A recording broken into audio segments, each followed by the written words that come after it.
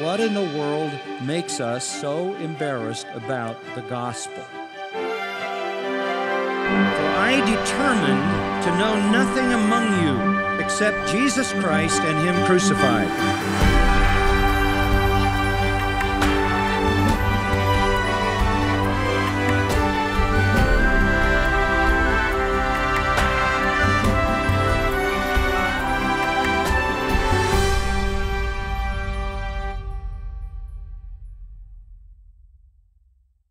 And they were ministering to the Lord and they were fasting, and the Holy Spirit said, Set apart for me Barnabas and Saul for the work to which I've called them.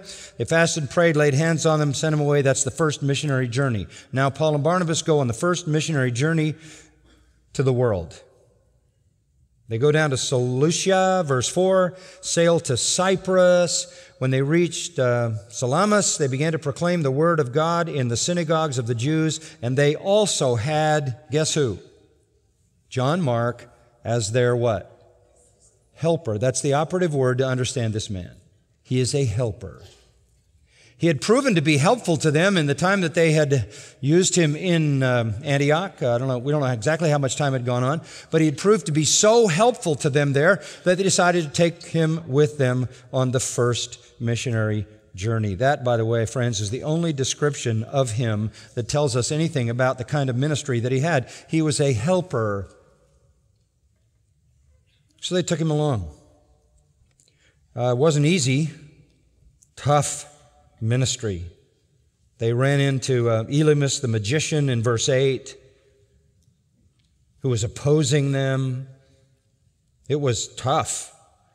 He was identified as one uh, full of deceit, son of the devil, verse 10, enemy of righteousness.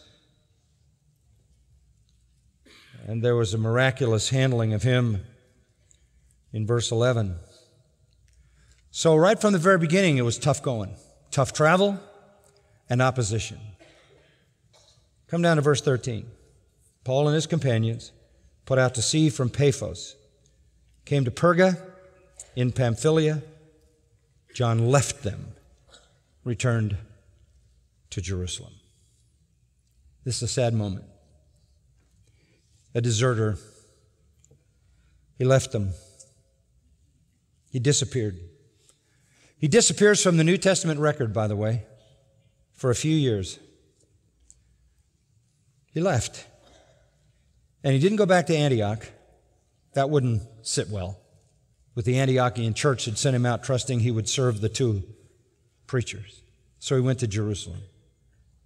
He disappears for a few years. The next time he's on the scene is in chapter 15. Turn to chapter 15, verse 36. A few years have passed. Um, John Mark hasn't been an issue because he's not around.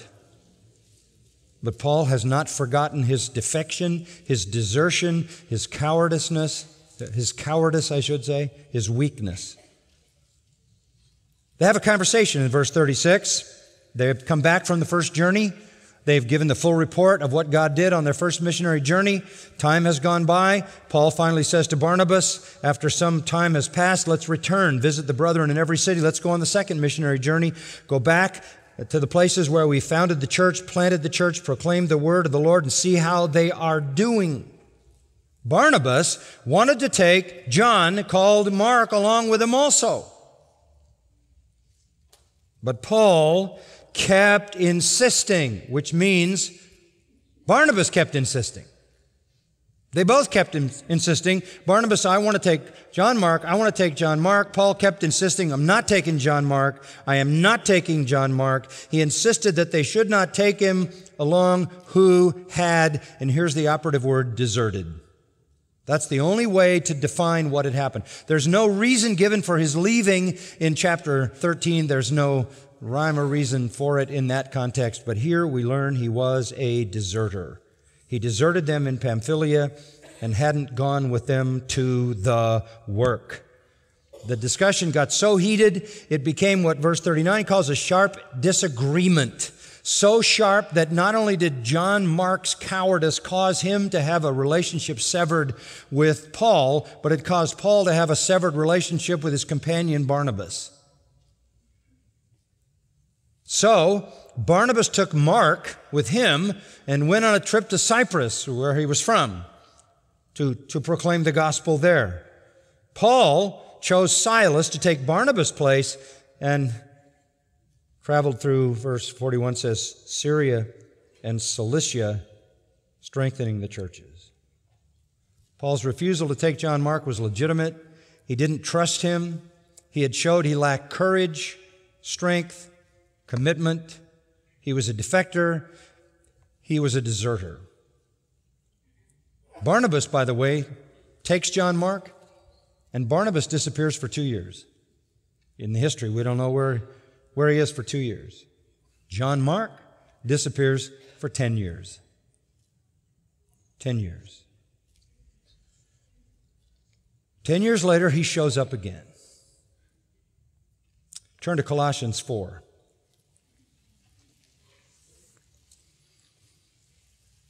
His name shows up in a letter written from Paul to the church at Colossae.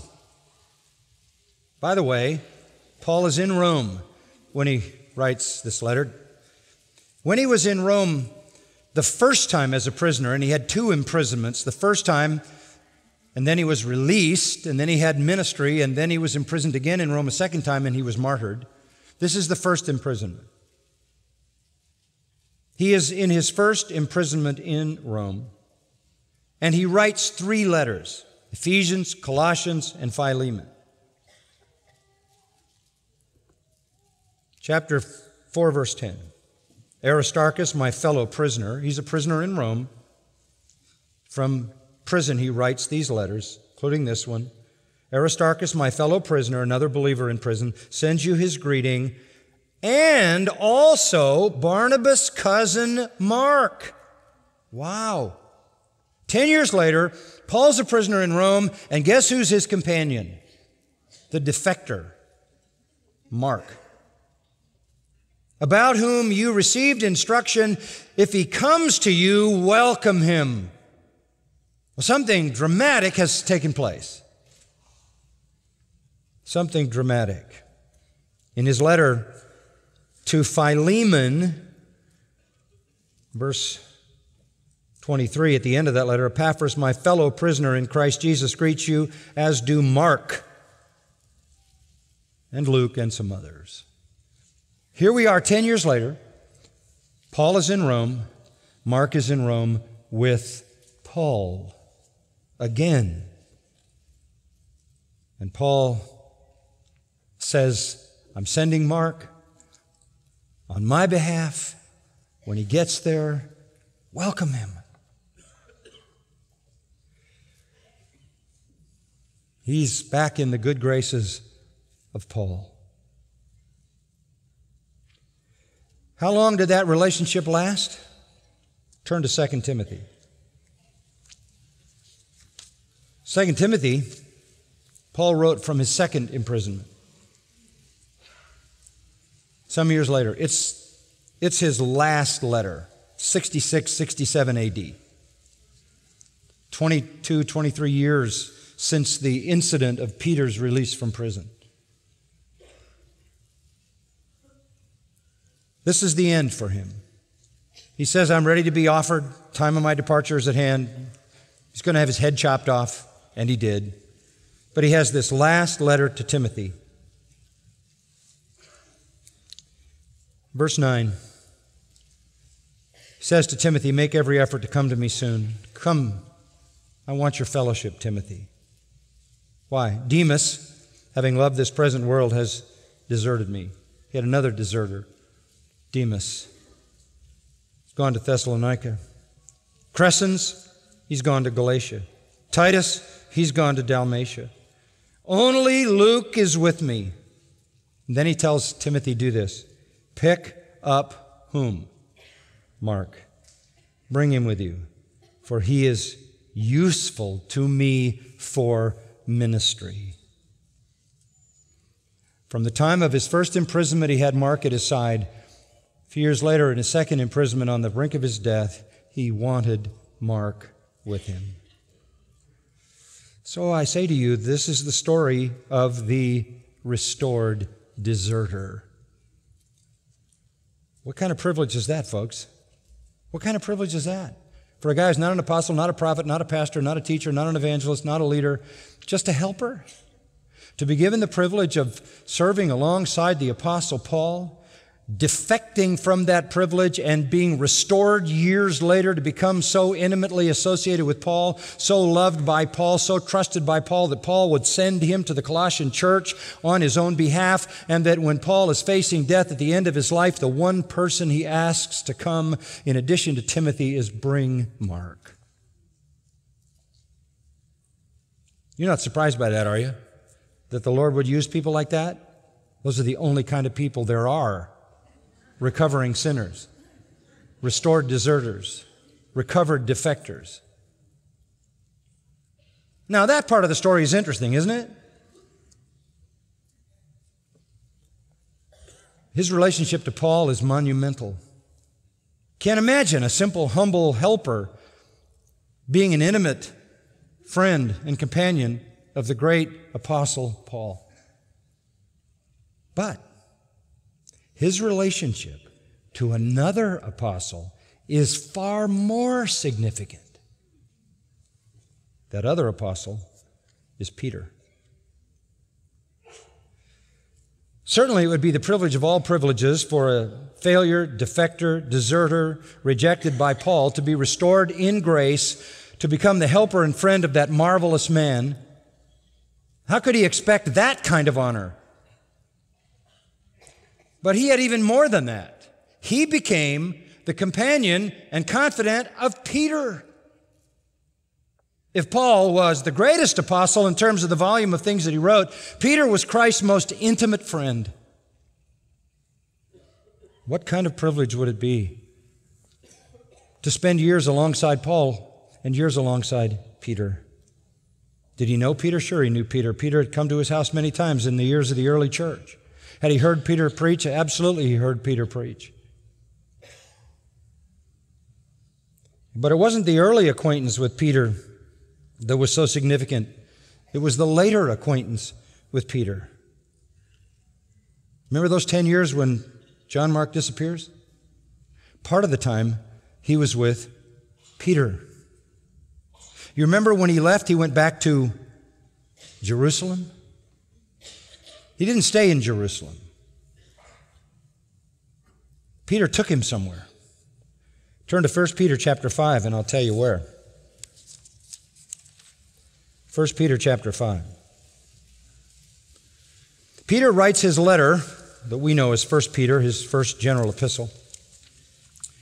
And he is in Rome when he wrote this letter. Peter is.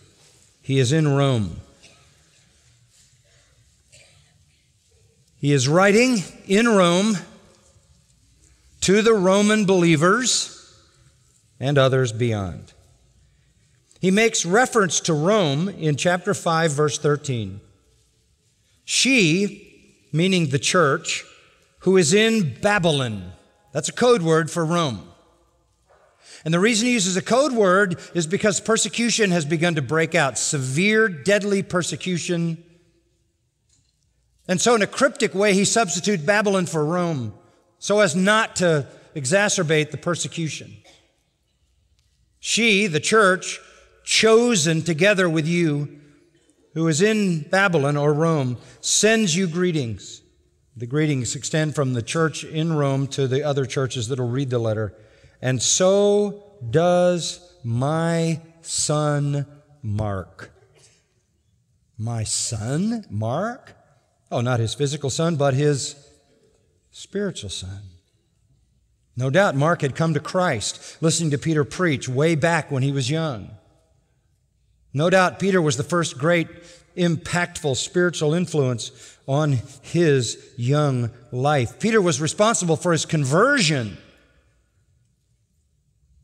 There is consistent historical testimony that goes all the way back to the first century that after Paul left his first imprisonment in Rome, after he had been there with Mark after he had written Ephesians, Colossians, and Philemon, he left Rome, was let out of prison, came back at a later time, but in the middle period of time, Peter went to Rome. Peter went to Rome. The consistent historical testimony is that Peter spent at least a year there, maybe more than a year, and he was in Rome and he was preaching constantly the gospel day after day after day after day. He died in Rome as a martyr in the summer or the autumn of the year 64 AD, right at the time Nero burned the city and blamed the Christians and launched the persecution. And while Peter was there, he sends greetings and he says, So does my son Mark. Mark was with Peter in Rome. Can you imagine being the companion of the Apostle Paul? That, enough, that would be enough. But then to be the companion of Peter?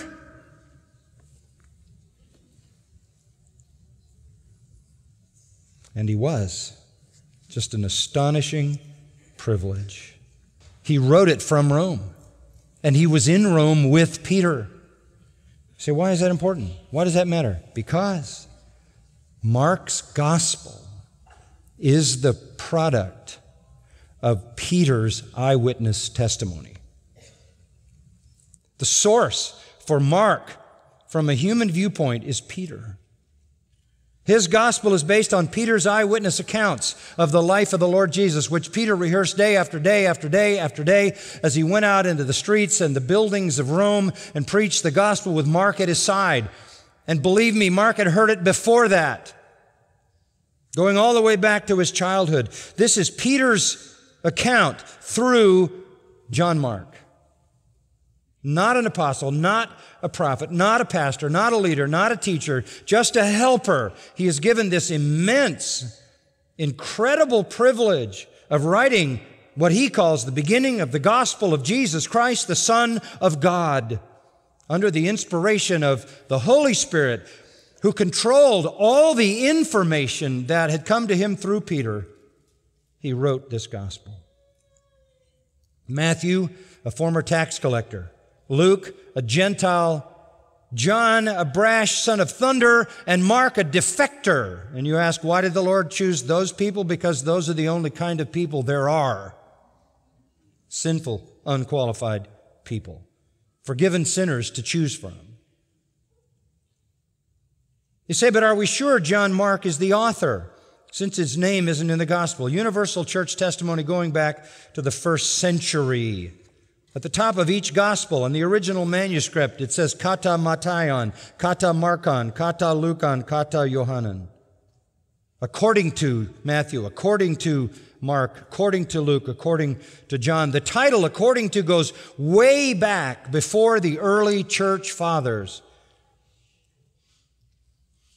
It was unequivocally affirmed, never disputed, never debated. And the ancient writers actually say that Mark wrote from material he heard from Peter. In fact, the testimony goes on. It's wonderful testimony. Somebody like uh, Polycarp. Polycarp, one of the early church fathers who knew John, had a student by the name of Papias who wrote Mark who was an interpreter of Peter, wrote with exactness. You have Justin, lives from 100 to 150 in his famous dialogue with Trypho, speaks of the memoirs of Peter being the gospel of Mark.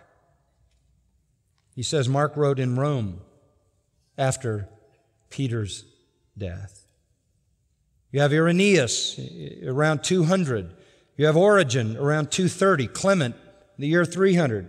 Eusebius, 362. They all say the same thing. Here's a quote from Eusebius.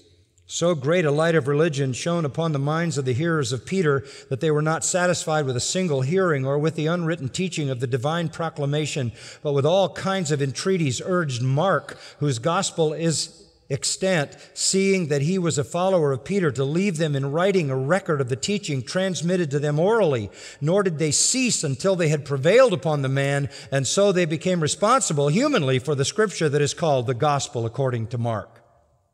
They prevailed upon Mark to write it down. This is the true, authentic work of John Mark. Inspired by the Holy Spirit, protected, controlled to be inerrant revelation concerning the life, ministry, death, and resurrection of the Lord Jesus Christ. But it's only the beginning of the story. Only the beginning, and that's how it starts. The beginning of the gospel of Jesus Christ, the Son of God. The ending hasn't been written yet. This is just the very, very beginning. And in fact, it ends in a very strange way. The legitimate ending is in chapter 16, verse 8. That's where it really stops.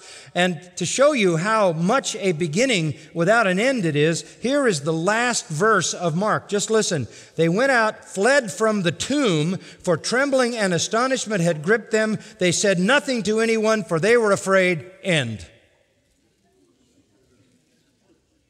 In fact, that is such a strange ending that a false ending was added later, which you'll see in brackets in your Bible. Doesn't appear in the early manuscripts.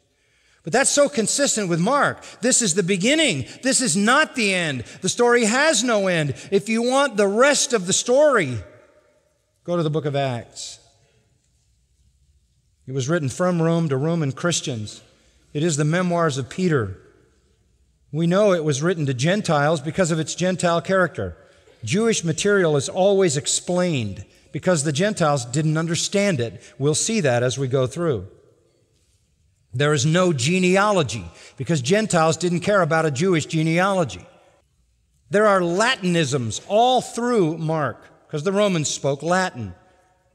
Whenever there's an Aramaic term, it is explained because they wouldn't know it. They don't speak Aramaic. When they refer to time, chapter 6, verse 48, chapter 13, verse 35, it's Roman time. The style of Mark is fast paced like a sprint. No introduction, no conclusion. It's just the beginning.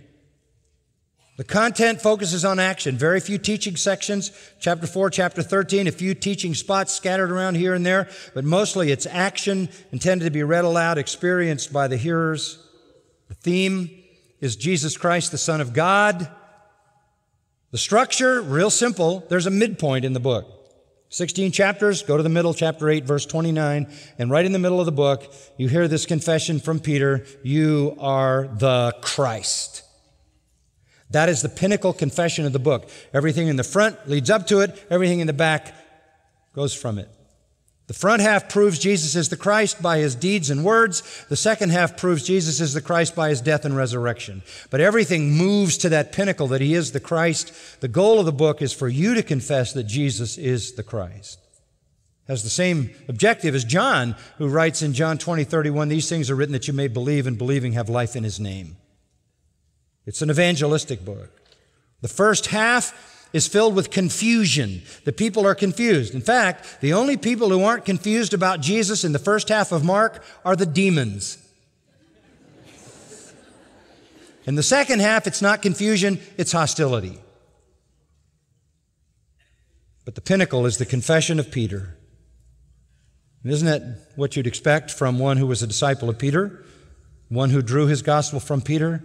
He would make Peter's confession, which Peter must have given every day that he was with Mark when he preached. He must have said, I believe he is the Christ. I'll tell you the story. One day we were here and Jesus said, Who do men think I am? And we said, You're Jeremiah, one of the prophets. And then all of a sudden, out of nowhere, you are the Christ, the Son of the living God. That's what I said. That's what I believe. That's the pinnacle of Peter's testimony, and that's the pinnacle of the Gospel of Mark. And it's to bring all of us to that conviction. What a privilege for this helper. most unlikely of people. In fact, if I redo 12 ordinary men, I'll change it to 13 ordinary men. Throw Mark in there as an appendix. Very ordinary man. And God gave him privilege beyond calculation to be an intimate companion of Paul, an intimate companion of Peter, helping both of them but beyond that, giving him the privilege to write one of four inspired gospels. Don't underestimate what God is able to do with helpers. Father, we thank you for this wonderful testimony to your grace that's bound up in the heart of this man in his life. We're, we're thrilled to, uh, to be his students now as we embark upon the story as he told it and as you directed him. We're just so blessed, Lord, so blessed to have another opportunity to look at the life of Christ, to, to be caught up in the glory of his person, his work, his words, his ways, to walk with him through the world, to see his life from another angle. What a privilege. Christ is all in all to us, he is everything to us. He is our life. We thank you that we see in, in this juxtaposition between the all glorious Christ and Mark a distinction that's part of our own lives. Here is a gospel written about the sinless Son of God by a sinful man, written about the almighty, courageous, strong Son of God by a cowardly, weak man. Here is the story of a sinless one written by a sinner. Here is the story of perfect righteousness written by a man in desperate need of grace.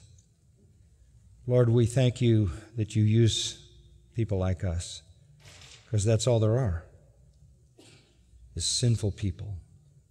Thank you for such mighty grace. Thank you that through history you have used helpers in such amazing ways. It's a privilege for us, Lord, to be the beneficiaries of this great work that you did through this remarkable man. We know nothing about him.